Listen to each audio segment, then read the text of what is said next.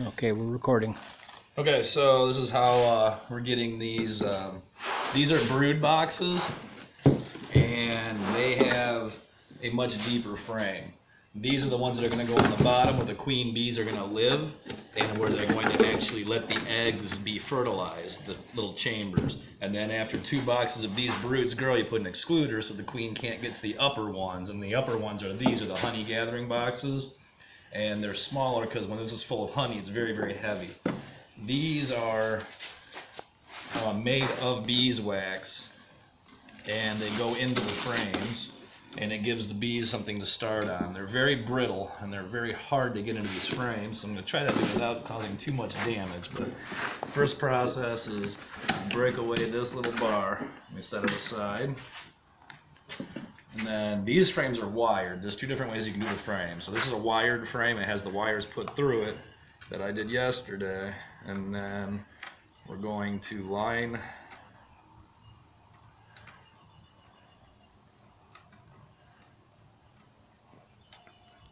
It's very cold this morning, which makes this wax much more brittle than normal, which makes it so that it's not as forgiving to work with. So I'm going to pull it through and then really carefully we're going to weave this wire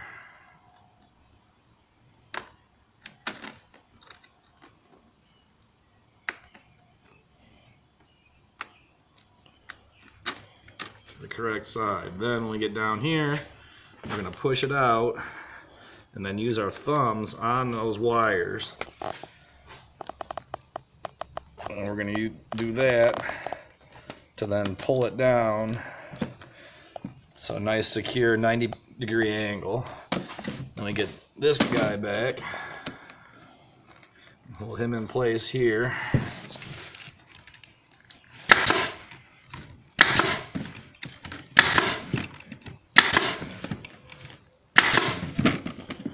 The top. Ah, no, just kidding. Oh, we're out of staples. Open it up. Oh, there's staples. Oh, in there. That's oh, Brad's. I'm sorry. Didn't load one in the chamber for some reason. So then we got the bottom five times, top four times. That's going to secure the comb in place. It goes back in the box. Now this box will go on top of a brood box. And then one of the brood boxes it's a much bigger frame to wax it. There's different wax. It's called a deep frame.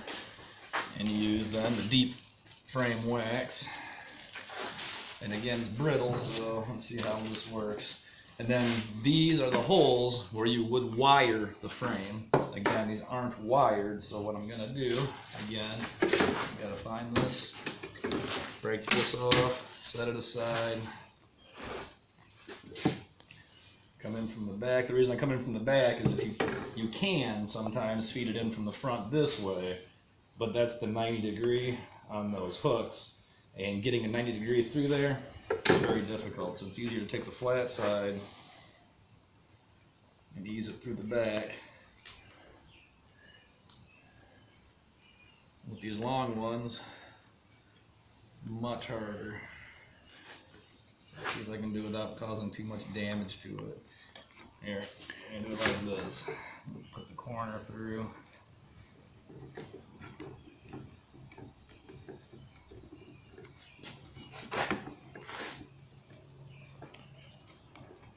Nice. So we got the edge through now.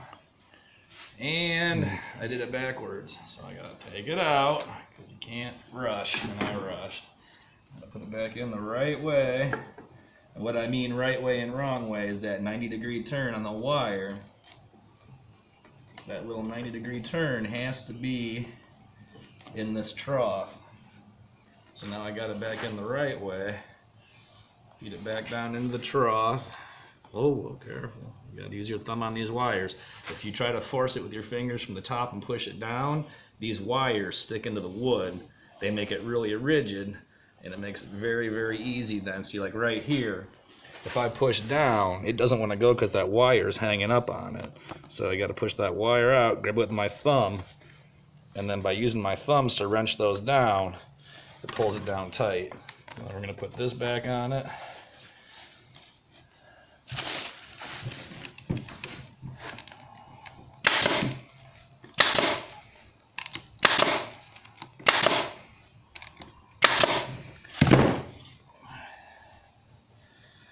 Now, before I staple this, instead of using wires, you can use these clips.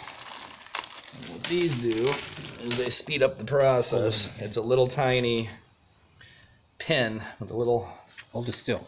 like a metal clothespin, basically. Turn it, rotate it. There you go. And then we're gonna put one in the middle, and then the clothespin will sandwich into the wax comb.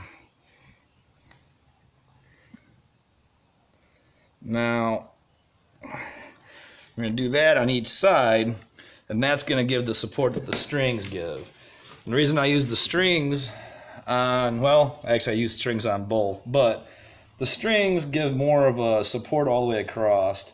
It takes more time to set them up though. So I liked the wires across, and I think I'll continue to do the wires across, especially for the the short, the shallow ones that are made for getting the honey, because these brood frames will never be spun.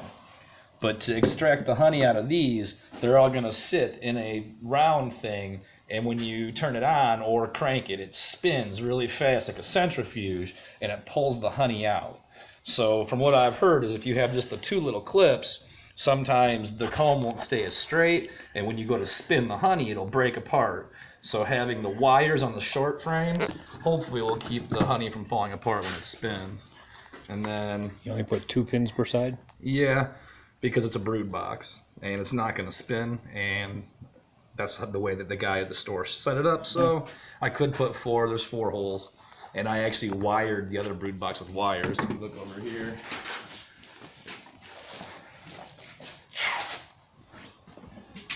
These are brood box, and then so you get the two wires on the back, one wire on the front, and then again putting stuff in it was so brittle, so you got these little holes and little little deviations everywhere, but they'll fix that. So last two days I put together two brood boxes, so two deeps, and then two shallows, and then both shallows are wired so they can spin.